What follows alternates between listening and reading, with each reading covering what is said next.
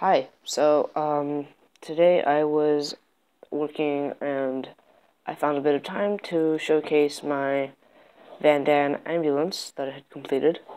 So, uh, let me show you. Um, it's a pretty simple paint job.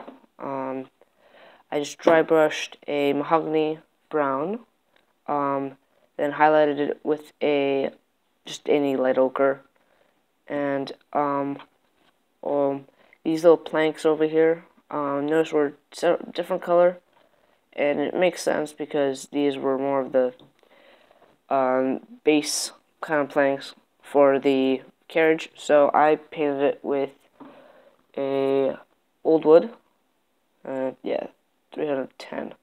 So yeah, it's pretty straightforward.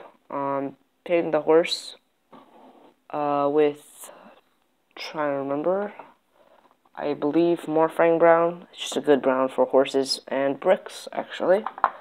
Um, painting the Haisant with that. Um, yeah. So that's this. Just spin it around to show you a bit.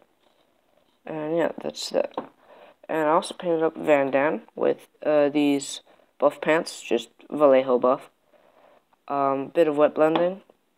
A tip on how to paint a jacket the blue jacket um, would be I would I suggest starting with a dark blue or I use Night Lord's Night Lord's blue because that's just what I have.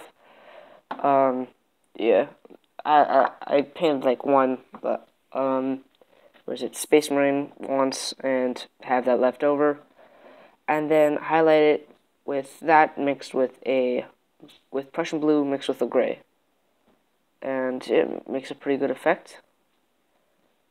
So yeah, uh, thanks for watching. Um, have a nice day.